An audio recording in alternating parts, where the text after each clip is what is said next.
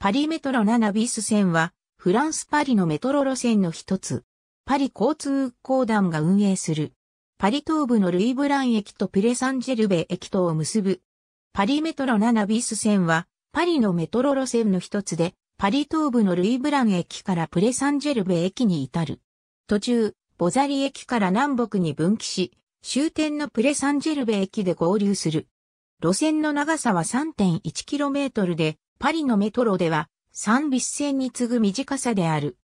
もともとは7号線の一部だったが、1967年、7号線本線との運行頻度の開きが大きかったため、7ビス線として独立した路線となった。沿線にビュット正門公園を抱える。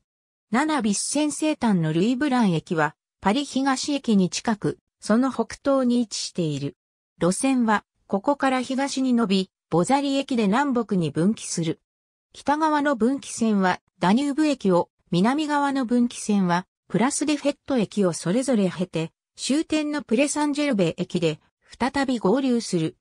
北側の分岐線は、西のルイブラン駅方面への、南側の分岐線は、東のプラスデフェット駅方面への一方通行となっている。ルイブラン駅からプレサンジェルベ駅へ至る路線だが、途中南北に分岐する。この分岐線の進行方向は、プレサンジェルベ駅方面への一方通行である。この分岐線の進行方向は、ルイブラン駅方面への一方通行である。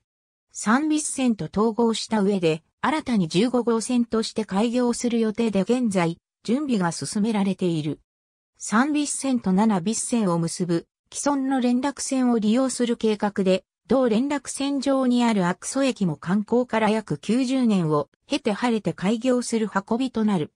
同時に、西側の終点が、現行のルイブラン駅から一駅先のシャトーランドン駅まで延長される計画で、2013年から2020年までに運行開始の予定。ありがとうございます。